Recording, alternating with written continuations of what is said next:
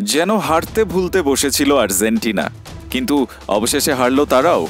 Martinez হারালেন মেজাজ আর Argentina হারলো match. টানা বারো ম্যাচ অপরাজিত। উঠতে থাকা আর্জেন্টিনাকে মাটিতে নামিয়ে এনেছে কলম্বিয়া। হেরে গিয়ে মর্তের মাটিতে নেমে নিজেকে সুপারম্যান ভেবে বসা এমি যেন বুঝলেন, দিন শেষে তিনিও মানুষ। বাস্তবতার ছবল মানতে না পেরেই যেন দিয়ে বসলেন ধাক্কা। আসলে ঘটনাটা তবে কি? বলছি, শুনুন। গত নভেম্বরে উরুগুয়ের বিপক্ষে সবশেষ হেরেছিল স্কালোনির শিষ্যরা।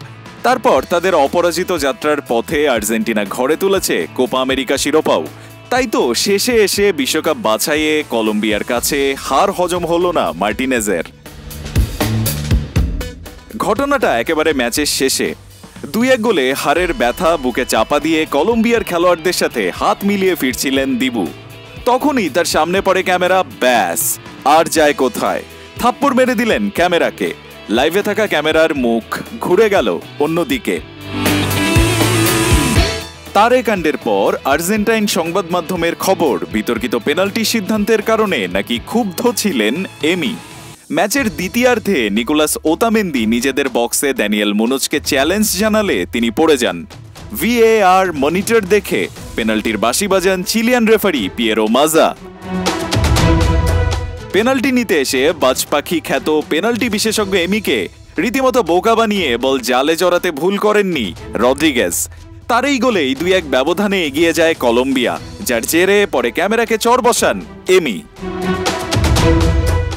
অবশ্য, এমির থাপ্পড় দেওয়ার ঘটনা এই প্রথম নয়। গত নভেম্বরে মারাকানায় বিশ্বকাপ বাছাইয়ের ম্যাচে ব্রাজিল পুলিশের আক্রমণের শিকার হয়েছিল আর্জেন্টাইন সমর্থকেরা। উত্তেজিত মার্টিনেজ তখন থাপ্পড় মেরেছিলেন কয়েকজন নিরাপত্তা কর্মীকেও। কাতার বিশ্বকাপ ফাইনাল জিতেও এমবাপ্পের পুতুল নিয়ে এমি করেছিলেন উদ্দাম নাচ। নিন্দুকেরা তাই এবার প্রশ্ন তুলেছেন, পেনাল্টি স্পেশালিস্ট থেকে তবে কি এই আর্জেন্টাইন বাজপাখি এবার বিতর্ক স্পেশালিস্ট হয়ে উঠছেন? রায়ান আহমেদ, একাত্তর।